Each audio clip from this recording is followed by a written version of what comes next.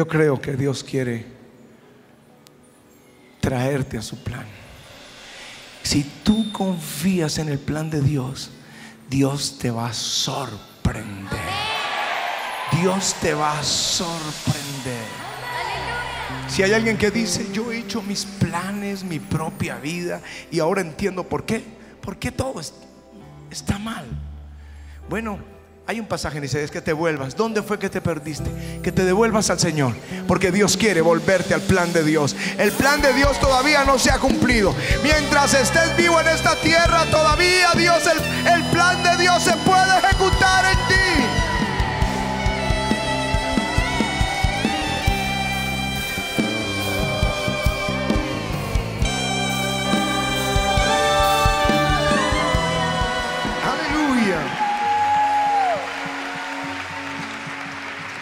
Te ruego, Señor, que nos enseñes esta mañana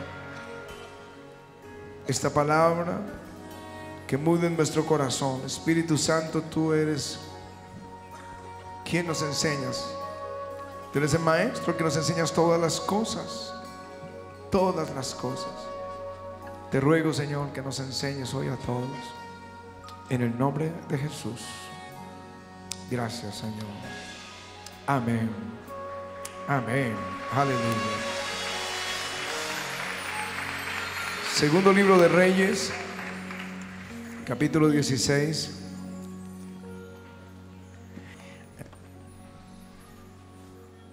En el año 17 de Peca, hijo de Remalías, comenzó a reinar Acaz, hijo de Jotán, rey de Judá.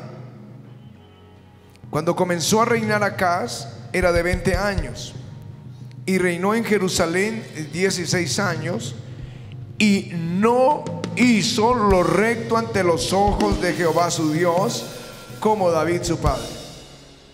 Antes anduvo en el camino de los reyes de Israel, según las prácticas abominables de las naciones que Jehová echó delante de los hijos de Israel Asimismo sacrificó y quemó incienso en los lugares altos y sobre los collados y debajo de todo árbol frondoso. Ahora por acá leamos desde el 8, dice cuando y tomando acá la plata y el oro que se hallaba en la casa de Jehová, en los tesoros de la casa real envió al rey de Asiria un presente y le atendió el rey de Asiria, pues subió el rey de Asiria contra Damasco y la tomó y la llevó cautiva a los moradores a Kir y mató a Rezim, que era el rey de Siria. Después fue el rey Acaz a encontrar a Tiglán Fileser, rey de Asiria, en Damasco. Cuando vio el rey, de, el rey Acaz el altar que estaba en Damasco, envió al sacerdote Urías el diseño y la descripción del altar conforme a toda su hechura. Y el sacerdote Urías edificó el altar conforme a todo lo que el rey Acaz había enviado de Damasco. Así lo hizo el sacerdote Urías entre tanto que el rey Acaz venía a Damasco. Y luego que el rey vino a Damasco y vio el altar, se acercó el rey a él y ofreció sacrificio en él. Y encendió su holocausto y su ofrenda y derramó sus libaciones y esparció la sangre de sus sacrificios de paz junto al altar. Amén. Amén. De pronto, al leerlo así, es como que no entiendes qué es lo que Dios quiere decirnos. Pero les aseguro que Dios sí quiere decirnos mucho aquí. Y lo vamos a ver ahora.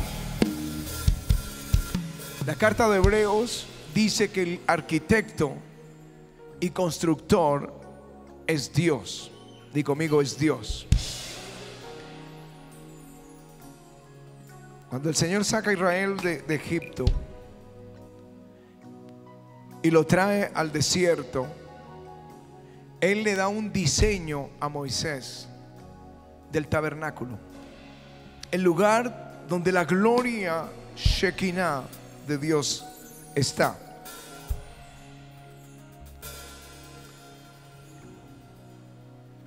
Y dice la escritura que Dios habla a Moisés diciendo, mira, yo he llamado por nombre a Besaleel. Dice, lo he llenado del Espíritu de Dios en sabiduría, en inteligencia, en ciencia, en todo arte, para inventar diseños, para trabajar en el oro, la plata. Dijo también, aquí yo he puesto con él a otro que se llama Oliab. También le he puesto sabiduría para que haga todo lo que yo te he mandado. Di conmigo lo que yo te he mandado. El tabernáculo de reunión, el arca del testimonio, el propiciatorio, los utensilios del tabernáculo, la mesa, sus utensilios, el altar del holocausto, los vestidos del servicio, las vestiduras santas, el aceite de la unción, todo como Dios se lo mostró. Así que cuando uno puede ver una réplica del tabernáculo, uno está viendo un diseño de Dios. Dios mismo diseñó el lugar donde haría habitar su gloria. Quizá esto comienza siendo importante para los pastores, pero luego va a ser importante para toda la congregación. Cuando el Señor eh, ordena o, le da los planos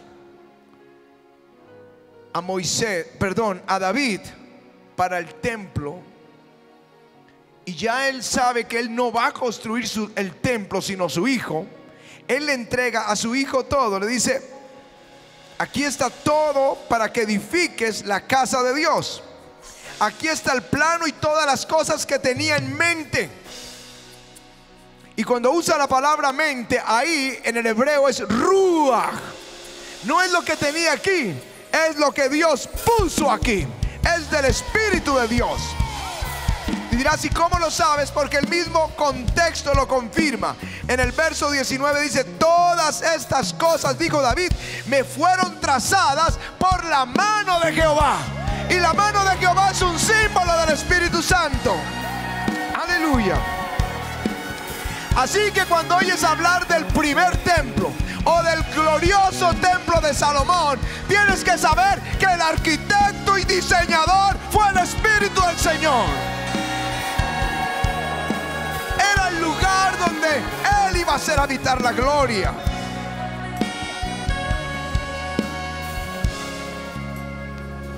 Al profeta Ezequiel, también desde el capítulo 40 hasta el 40 hasta que termina el libro de, Ezequiel, hasta el capítulo 48, le da un diseño y dice que el Espíritu del Señor, la mano de Dios vino sobre él y el Espíritu del Señor le mostró todo el diseño del templo de Ezequiel, del templo futuro.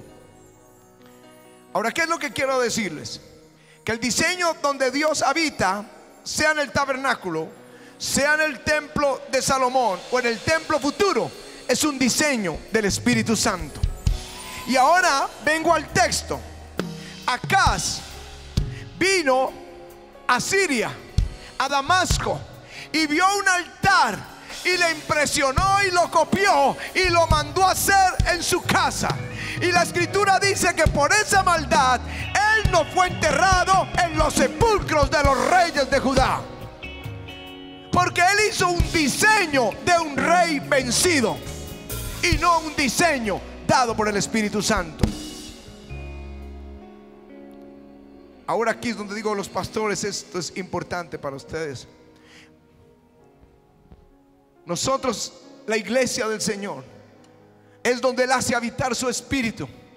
Aquí donde estamos juntos, Él hace habitar su gloria, la misma gloria Shekinah que estaba en el tabernáculo la misma gloria que estaba en el templo de Salomón, la misma gloria que vio el profeta Ezequiel, es la gloria que Dios quiere poner en su iglesia. Aleluya.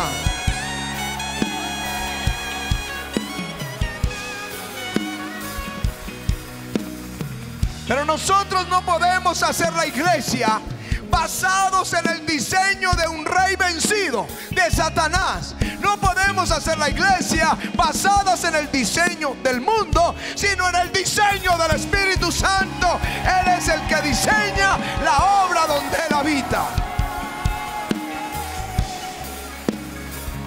Cuando comenzamos la iglesia en el año 90 y en el año hasta el año 93, nosotros usábamos todo lo que veíamos afuera.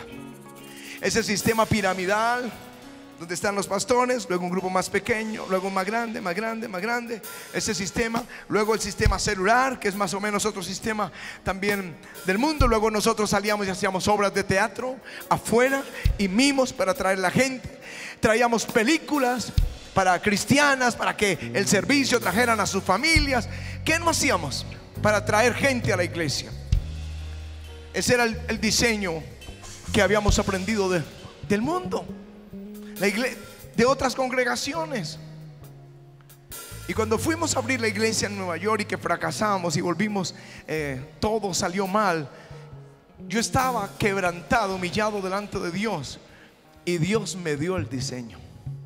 Dios me dio el diseño. La, la, escritura dice en Ezequiel, si ellos se avergonzaren de lo que han hecho, y hazles entender el diseño de la casa, su disposición, su entrada, su salida.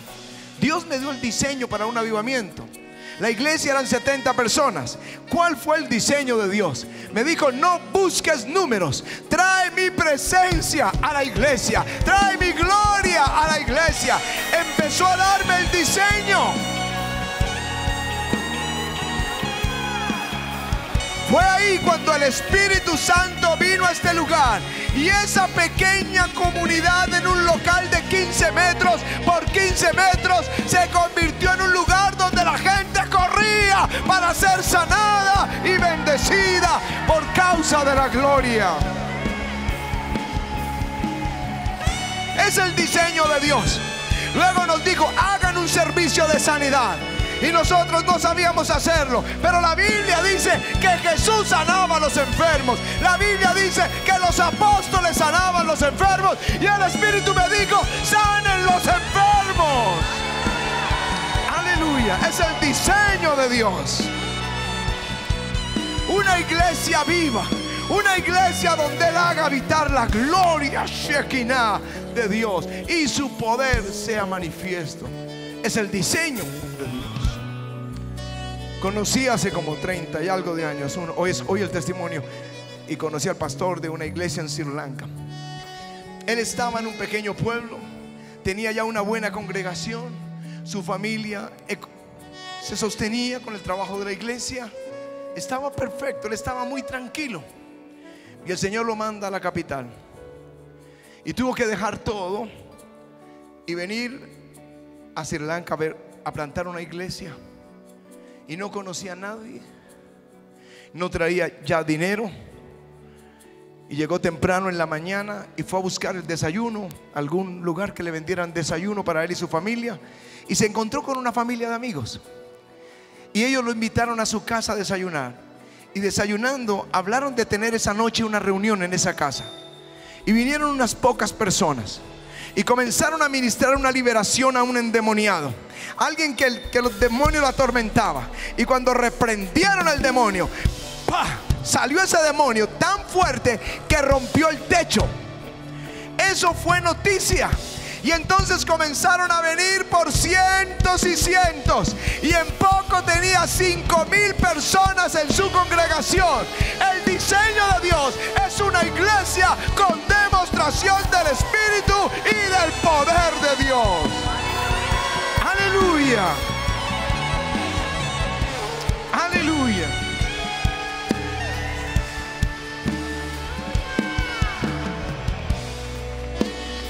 Pero lo que sigue ya no es solo para los pastores, es para ustedes. El profeta Isaías, el Señor le habla y dice, ay de los hijos rebeldes que ejecutan planes que no son míos, que hacen alianzas, pero no son de mi espíritu, que descienden a Egipto y no me consultan. Hacen su propio diseño. El mismo pecado de Acaz. En vez de atender el diseño del Espíritu Santo, tienen su propio diseño. Les repito, hay de los hijos que ejecutan planes que no son míos, que hacen alianzas que no son de mi espíritu, que descienden a Egipto sin consultarme. Dios tiene un plan para tu vida. Dios trazó un plan bendito para tu vida. Un plan donde la gloria de Dios va a estar sobre tu vida. Un plan donde Él habitará habitar la gloria Shekinah en tu vida. Dios tiene un plan glorioso para cada creyente. Aleluya.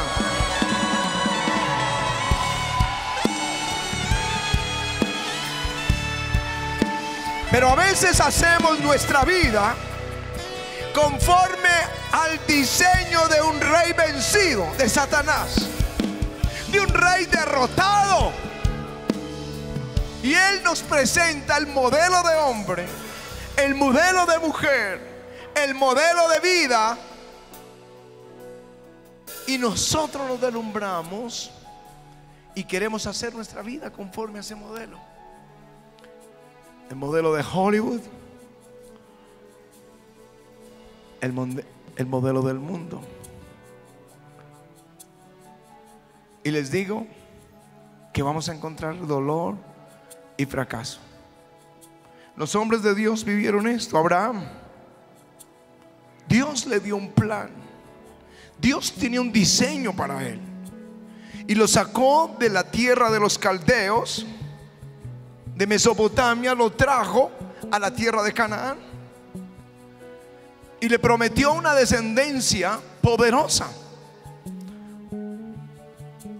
Y pasaron unos años y como Abraham no vio que se cumplía, y Sara, su esposa, con quien salió de, de Mesopotamia, con quien recibió la promesa y la palabra, no podía darle hijos, resolvieron de acuerdo que él durmiera con una egipcia. No con la mujer escogida por Dios, sino con una egipcia llamada Agar. Para que tuviera hijos y se cumpliera la palabra. Ya no es el plan de Dios, es el plan del hombre. Y nace Ismael. Hasta el día de hoy, desde ese día fue la aflicción. No solo para Abraham, sino su descendencia. Pues cuando nace años después el hijo de Sara llamado Isaac, Ismael lo menospreciaba. Ismael lo oprimía y se burlaba. Hoy, cuatro mil años después, Ismael es el mundo árabe y el mundo musulmán. Y todos los días tiene una guerra con los descendientes de Isaac, que es Israel. Cuando nosotros hacemos nuestra vida, el diseño nuestro, estamos trayendo guerra y aflicción para nuestras vidas y para nuestras descendientes. ¿Qué futuro queremos? Yo quiero un futuro lleno de la bendición de Dios. Pero cuando yo hago mis planes, hay de los hijos que hacen planes que no son míos. Hay de los hijos que hacen alianzas que no son de mi espíritu. Hay de los hijos que descienden a Egipto sin consultarme. Esa es la historia de Abraham. Esa es la historia de Moisés. Dios dijo, él ya lo sabía en su espíritu, aunque Dios no se le había revelado todavía en la zarza, pero sabía que por su mano, que Dios lo usaría, perdona, Moisés, para liberar a Israel. Pero Moisés pensó que era por su propia mano, no por la mano de Dios. Ustedes recuerdan cuando comenzaron las plagas, era la mano de Dios. Hasta los mismos magos de Faraón dijeron esto es el dedo de Dios, que es un tipo del Espíritu Santo, un símbolo. Pero él antes lo quiso hacer por su propia mano y mató a un egipcio y le costó tener que huir al desierto de Madián y vivir en el desierto de Madián 40 años cuidando unas poquitas ovejas. Ese desierto es horrible. Grabamos la semana pasada en el desierto de Judea. es horrible. Y se ve también allá el desierto de Madiana, es horrible. Pero allá le tocó 40 años por hacer las cosas a su manera. Hay de los hijos que hacen planes que no son míos, que hacen alianzas que no son de mi espíritu, que descienden a Egipto sin consultarme. Quizá tú lo has hecho con tu hogar, en tu matrimonio, ya no como el modelo de Dios, sino como el modelo del mundo. Tus negocios, tus estudios, tus amigos, alianzas, convenios, contratos, amistades, ministerios, descender a Egipto, buscar en el mundo la ayuda sin consultarlo. Quizá atendiendo el diseño de un rey vencido.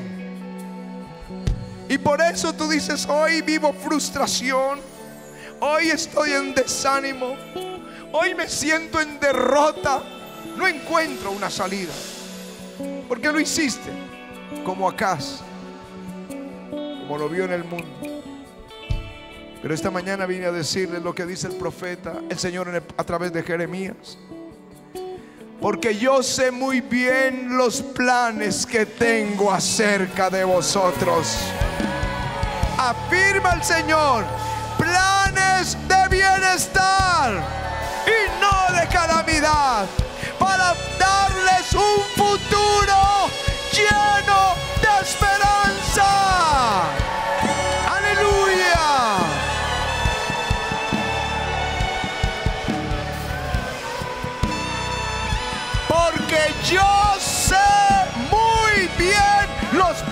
Que tengo acerca de vosotros, afirma el Señor. Planes de bienestar, aleluya, no de calamidad, a fin de darles un futuro lleno de esperanza. Otras versiones dicen planes de prosperidad. Aleluya. Aleluya. Dios tiene un plan para ti.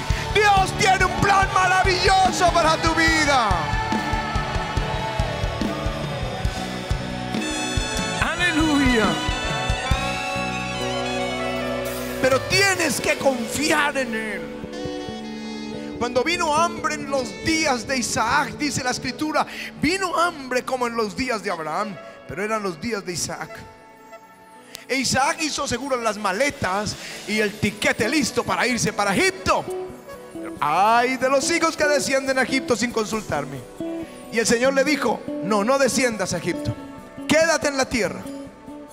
Y él obedeció. Él no hizo el plan de acá, él hizo el plan de Dios. Se quedó en la tierra y en un año era el hombre más próspero en medio de todos los filisteos. Rey de los filisteos dijo, te has hecho más poderoso que nosotros. Aleluya. Es el plan de Dios. Es el plan de Dios. Es el plan de Dios. Cuando Josafat se vio rodeado para la guerra, preguntó a Dios y Dios le dijo, no vayas a la guerra, estad quietos y conoced que yo soy Dios. No fue, él no fue como Acaz a pedir al rey de Asiria que lo defendiera. Él esperó en Dios y Dios le dio la victoria. Y Dios le dio honra. Los reyes de la tierra honraron al rey Ezequías. Y Dios le dio el valle de la bendición.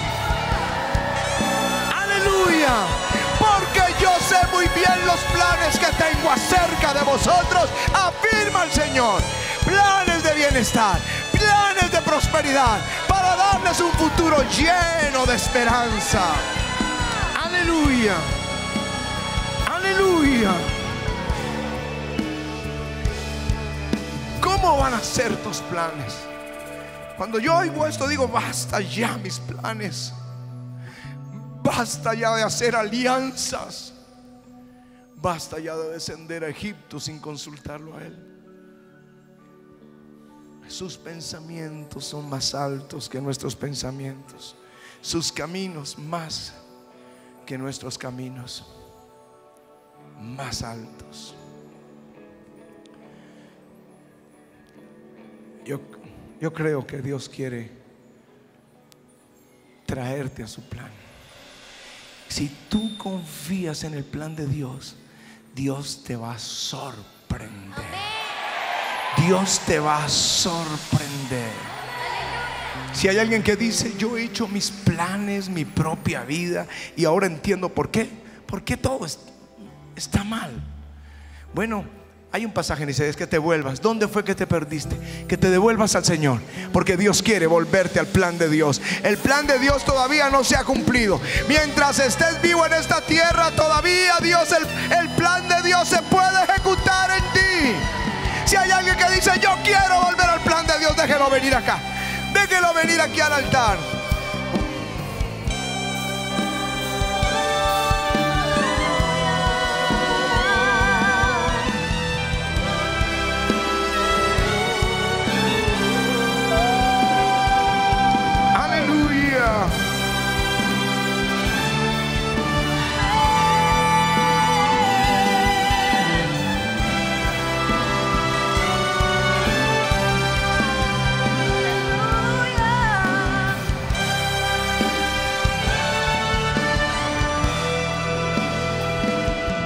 Aleluya. Si tú dices, sí, yo, yo lo hice. Planes sin consultarlo a Él. Planes que no son de Dios. Si tú dices, yo, yo tengo alianzas, pero que no son de su espíritu. O he establecido para mí caminos sin consultar a Dios. Pídele perdón al Señor ahora. Él te va a ayudar. Yo sé lo que es esto. Yo sé el día. No puedo olvidar ese día. Postrado detrás de las bancas de una iglesia como unas 300 personas. Tirado en el suelo. Había hecho todo mal y yo creía que no podía. Que yo no podía ver la restauración de todas las cosas. Era imposible. Pero allí me boté y el Señor me empezó a decir lo que tenía que hacer, porque Él tenía un plan maravilloso para mi vida. Él lo tiene para ti. Solo dile, Señor, lava mi pecado. Dile.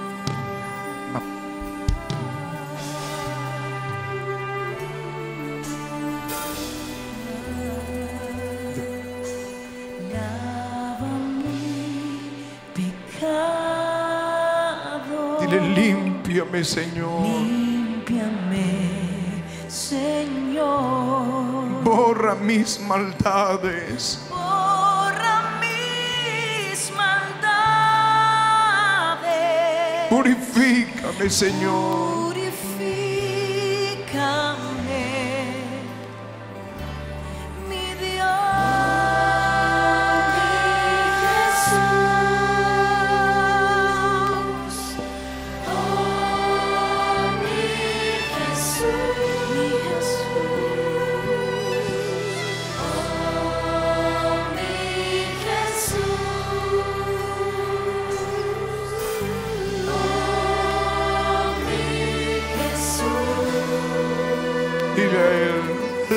Mi pecado. Lava mi pecado. Límpiame, Señor. Límpiame, Señor. Borra mis maldades. Borra mis maldades. Purifícame, Señor.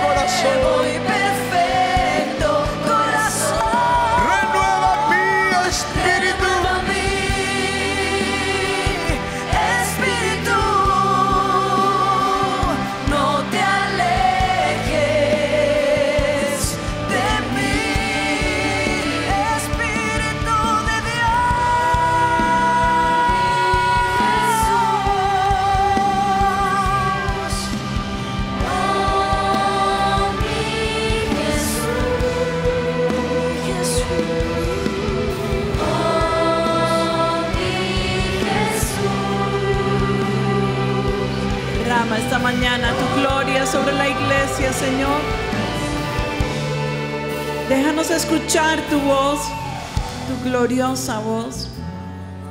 A veces es como ese silbo apacible y estamos esperando un terremoto, un gran movimiento de tierra o, o algo que nos sacuda, pero a veces es ese, ese silbo apacible y ahí estás tú, Señor. Y a veces hablas con voz fuerte, Señor. Y a veces nos hablas en sueños y a través de la palabra y a través de los pastores o del mensaje que se dicta.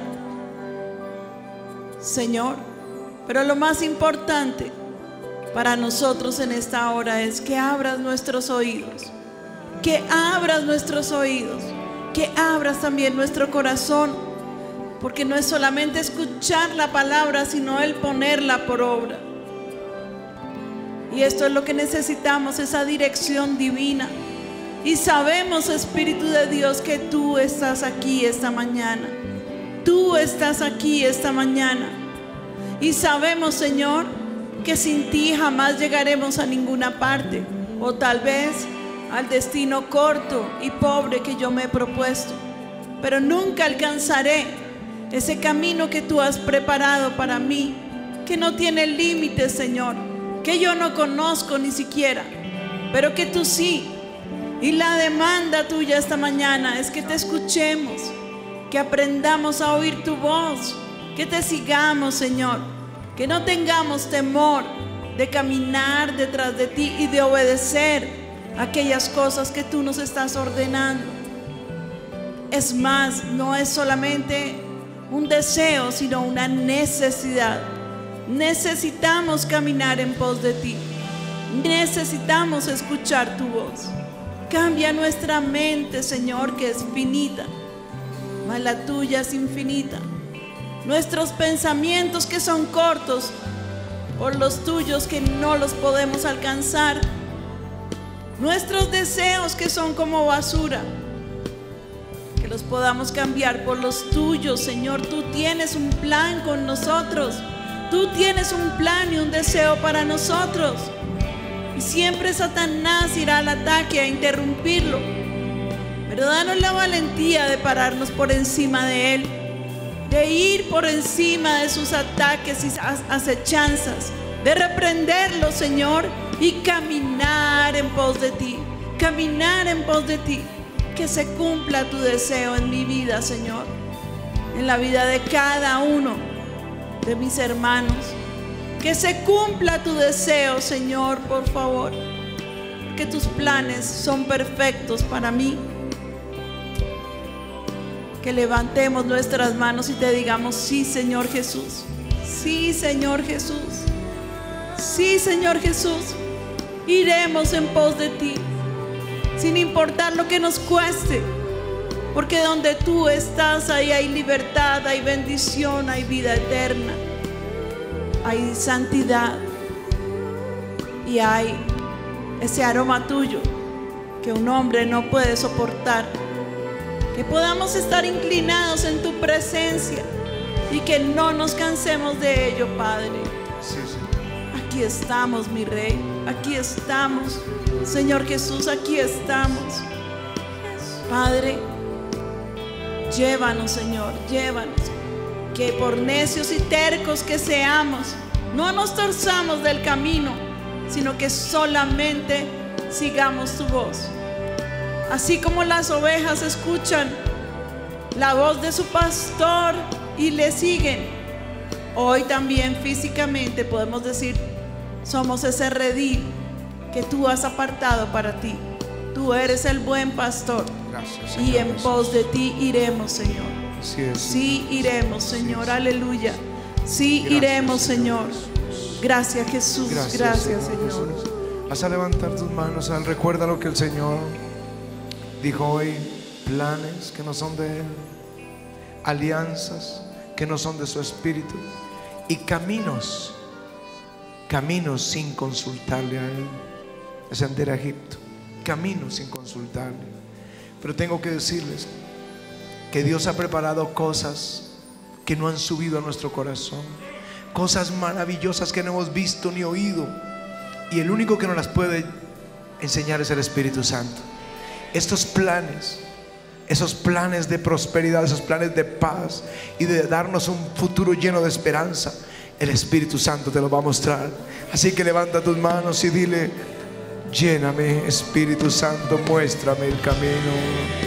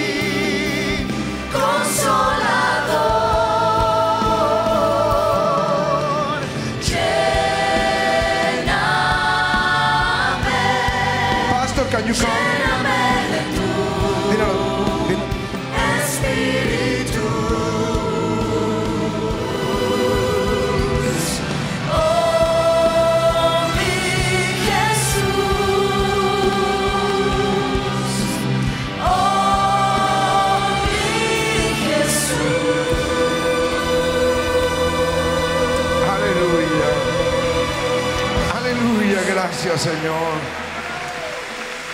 Quiero orar que Dios les muestre los planes que tiene para ustedes. Abre sus ojos, Señor. Ábrelos, Señor. Sus oídos, su corazón a ti. Sus caminos son de paz. Son de paz. A veces te pueden mostrar que brilla oro, pero si no hay paz, aunque haya mucho oro, no entres, no vayas. Busca la paz y síguela. Busca la paz y síguela. Yo quiero orar desde aquí por el doctor Rodrigo, porque siento orar por que ha, ha sido muy sabio. Ni no ha ido a tomar ninguna decisión, sino estás en stand-by, estás en espera de la dirección de Dios. Y eso es muy sabio. Hasta que Dios te hable. Cuando tengas la palabra de Dios, corre, porque Dios va contigo a donde quiera que vayas. Padre, yo te pido en el nombre de Jesús que la paz esté gobernando su corazón y sus pensamientos en Cristo Jesús. Te pido, Señor, que tú le hables tan claro, Señor, que pueda oír a sus espaldas una voz que diga, este es el camino, no torzáis a la derecha ni a la izquierda. Los planes que tú tienes para él, Señor, se cumplen. Y te ruego por cada creyente, tus hijas, tus hijos, que ellos puedan oír voz de Dios en su espíritu, que les diga, este es el camino, no tuerzan a la derecha ni a la izquierda. Abre sus ojos, abre sus oídos, para que entiendan tu voluntad en el nombre de Jesús. En el nombre de Jesús, yo te doy gracias. Porque el Señor me dice, han pagado un precio The Lord's telling me that you have paid a price, grande huge price. a su manera de ver. The way you see it, you paid a huge price. Pero el Señor les dice, But the Lord is telling you, yo los estoy moldeando. I am molding your lives. Y no he terminado, I have not finished yet, pero les tengo grandes but I have great surprises in Grandes store for you. Great conquests, Porque su país because your country y el lugar donde ministran and the place where you're ministering necesita un avivamiento. are in need Y ustedes lo van a llevar. Levanta tus manos. Levanta tus manos. Espíritu de Dios. Gracias, Señor. Gracias. Jesús. Aleluya. Aleluya. going to be the la- one of the largest church in, in your city, in your country. Va a hacer algo impresionante con ellos. Tócalos. Son humildes, viajan para recibir, recibir, recibir. Tócalos, tócalos, tócalos. Toca, toca, tócalos, tócalos. Recibe, recibe. fresh anointing touch. Tócalos.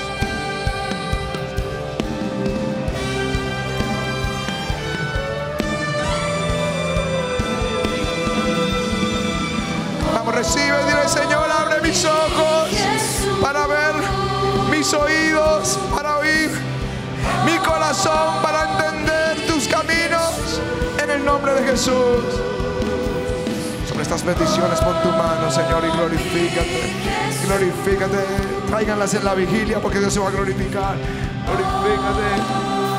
En nombre de Jesús, glorifícate. Sí, recibe. Nombre de Jesús, recibe. Recibe, recibe, recibe, recibe, recibe, recibe. Recibe, recibe, recibe. Oh, recibe, recibe, recibe, recibe. Tócalo, Señor. En el nombre de Jesús. Aleluya. Gracias, Señor. Dios tiene un plan maravilloso para ti. Amén.